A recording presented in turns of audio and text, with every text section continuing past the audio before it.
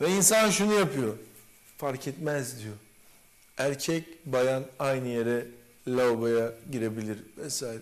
Bunun gibi birçok yerde şu anda resmi ülkemizde bazı restoranlarda maalesef görüyoruz. Erkek de bayan aynı tuvalete giriyor. Ya bu olabilir mi ya? Ya tıbben bile caiz değil. Tıbben bir erkeğin lavaboya girdiği halde lavabosunu yaptıktan sonra bir bayanın oraya girmesi tıbben uygun değil hocam.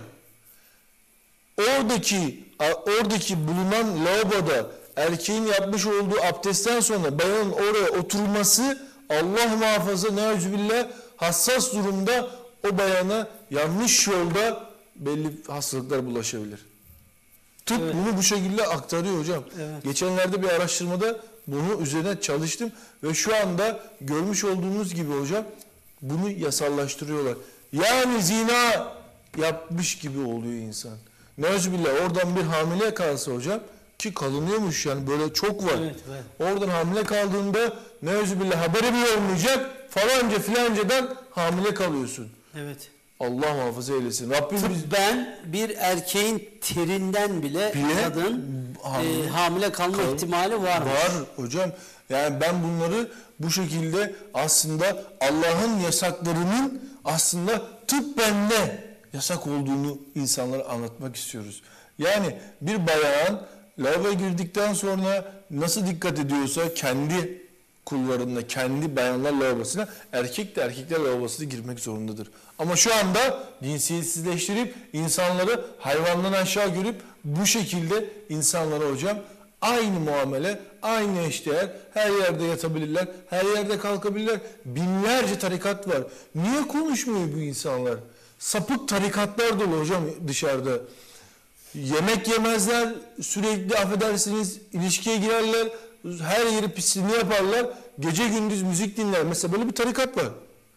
Bunun gibi binlerce tarikat var hocam ve hiçbirine savaş açılmıyor ve hiçbiri konuşulmuyor gündemde. Evet. Gündemde Allah'ın emir ve yasaklarını savunanlarla savaş açılıyor. İşte mesele de bu hocam zaten. Yani burada halkımıza şunu demeye çalışıyoruz. Doğru yolda olanlar her zaman önlerine engeller çıkar ve engelleri aşağı aşağı doğru yola ilerlerler. Aslında bu günümüzde çok açık bir şekilde görüyoruz ve her şekilde hayatımızda bunları yaşıyoruz kıymetli hocam. Bu konu hususunda bu kardeşlerimiz yani nasıl buradan kendileri muhafaza etmeleri lazım hocam? Kendileri hocam, nasıl buradan soyutlamaları lazım? Şimdi, Nelere dikkat etmeleri lazım? Taviz tavizi getiriyor. Ee, bundan 20 yıl önce böyle bir şey e, dendiğinde birçok insan tepki gösteriyordu. Aradan geçen zaman zarfında ya neyse ya demeye başlandı. Sonra işte bir şey olmaz demeye başlandı. Sonra insanların arasında bu iş çok sıçramaya başlayınca insanlar buna savaş açmak yerine, bununla mücadele etmek yerine bunu kabullenme tarafına geçildi ve bugün işte ünlülerin birçoğu ondan sonra birçok kişiler böyle e, destek verme durumuna geçtikten sonra da maalesef e, böyle bir e, artış gösterdi bu sosyal medyada da reklamlarla beraber. İşte bu tür bu tarz insanların hep e, zengin olmaları, çok popüler olmaları, takipçilerinin çok olmaları, ondan sonra bunlar işte ne bileyim e, böyle çok insanlara karşı e, kötü bir şeyi yok. Yani kötü, seni mesela nasıl lanse ediyorlar? kötü lanse ediyorlar. Değil Hı. mi? Kötü lanse ediyorlar. E, ama bunlarla alakalı hiç olumsuz bir haber göremezsin yani. Belirli medyanın dışında. Bu sefer ne oluyor? E, insanlar bir bakıyorsun gençler bu tarafa kayıyor. Evet. Bu tarafa gidiyor. Yani e, bu ahlaksızlık, bu şu, bu, bu böyle görmüyor. Ya işte bak onlar da ne güzel işte. Şöyle insanlar, böyle insanlar falan. Ya bu e, Müslüman olmayanlara bir şey diyemiyorum şu an. Onlara farklı bir açıklama yapmak gerekiyor. Ama evvela Müslüman kardeşlerimizin şunu bilmesi lazım. Bu insanlık dışı bir şey. Yani insan böyle yaratılmadı. Bir hayvan bile hem cins yani dişi olana yanaşıyor. Erkek olana yanaşmıyor. İnsanoğlu Allah nasıl yaratmış, sistemi nasıl kurmuş? Erkek kadınla evlenir. Bu kadar. Yani erkek kadına düşer.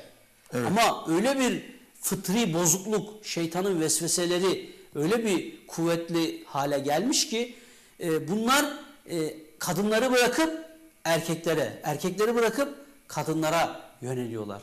Şimdi Allah Kur'an'da bunu açıklıyor. Lut kavminde de böyle bir hastalığın, sapıklığın olduğunu söylüyor. Ve Allah Lut kavmini biz yerin dibine batırdık Ya. buyuruyor. Yerin dibine batırdık. E şimdi bu nasıl bir amel? Allah'ın lanet ettiği, Allah'ın nefret ettiği, Allah'ın azap ettiği bir amel, bir iş. Yani bunu yapamaz Müslüman. Bundan kendini kurtarması gerekiyor. Yalvarması gerekiyor, dua etmesi gerekiyor. O zaman ne olacak? Bunun çalışmasını toplum olarak yapmak zorunda. Şimdi bugün mesela Cumhurbaşkanı e, Cumhurbaşkanı açıklamaları vardı. Bizim kitabımızda böyle bir şey yok diye. Doğru. E, işte bunun siyasi önderler, liderler vesaire açıklıyor bilmem ne. Ama bir yaptırım yok. Ya kardeşim bir yasa çıkartın. E, nasıl ki bir adam, şimdi hocam açık ve net. Evet. Bir suç aletini, örnek veriyorum bir uyuşturucu maddeyi sosyal medya sayfalarından ilan etse, bak bu uyuşturucu elimdeki şu an Evet. ise, işte bu şöyledir, bu işte çok güzel uyuşturucudur, çok kaliteli maldır, şöyledir, böyledir anlatsa adamı tak ertesi gün paket ederler hemen. Hemen tak tepesine çökerler. İyi de Sayın Cumhurbaşkanı diyor ki bu diyor bizim kitabımızda yeri yok. Karşıyız diyor. Ama bir kanun yok.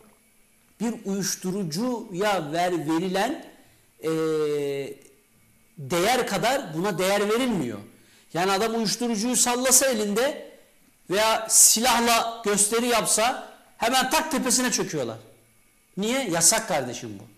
E tamam adam LGBT'yi savunuyor. LGBT'yi insanlara aşılıyor. Ne kadar popüler bir şey olduğunu anlatıyor. Ondan sonra onun özelliklerini anlatıyor. İnsanları teşvik ediyor. E bu da uyuşturucu gibi işte. Hemen tak çökeceksin bunun tepesine. Bu bizim kitabımızda yok. Bu bizim kanunlarımızda yok. Sen bunu yayamazsın kardeşim. Tak kapatacak. E bunların dernekleri var. Nasıl açılıyor bu dernekler? Devlet onay veriyor bunlara. Evet. E niye açtırıyorsunuz? Bir adam uyuşturucu derneği açsa, uyuşturucu e, üretim derneği açsa ne yaparsın? Ne yaparsın yani? E, suç bu, açamaz.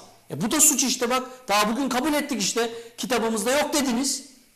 Kitabımızda yoksa o zaman bunu anayasadan da çıkartın. Bunların derneklerini kapatın. Evet. Bunlarla mücadeleye o zaman hazırlık yapın. Kanun çıkartın. Bütün sosyal ağlarda bunlarla alakalı çıkan haberler, olumlu mesajlar, renklerinin paylaşımı, paylaşımı, destek vermek bilmem ne hepsini bunların ortadan kaldırın. Bir tane ünlü sahneye çıkıyor, bunların bayrağını sallıyor, destek ver- veriyorum diyor. Aynı sahnede uyuşturucu veya illegal bir faaliyet için bayrak sallasa ne yaparsın? Sahneden inmeden polisler biter başına. Gel bakayım sen buraya. Sen niye illegal olan bir suçu teşhir ediyorsun? Hemen tepesine çökerler değil mi? E tamam bu da suç o zaman işte bak kitabımızda yok dediniz. Madem kitabımızda yok, madem o zaman buna karşıyız diyorsunuz, o zaman çıkartın kardeşim. Elinizde değil mi sizin kanunlar? Çıkartın kanunları. Ondan sonra kim bunların bayrağını açıyorsa tepesine çökün o zaman. Niye yapmıyorsunuz bunu yani? Yani biraz samimi olmak gerekiyor. Biraz Evet. doğru olmak gerekiyor. Biraz gerçekten e, olayların dışında değil içinde olmak gerekiyor. Böyle olunduğu sürece popülerlik artıyor. Popülerlik arttıkça da teşvik, e, ilgi, alaka çoğalıyor hocam. Aynen.